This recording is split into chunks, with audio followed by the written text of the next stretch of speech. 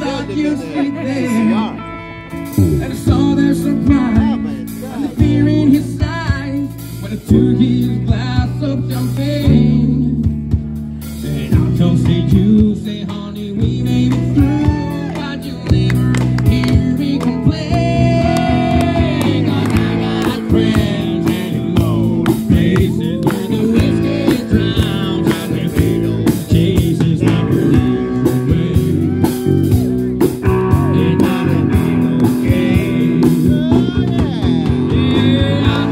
You.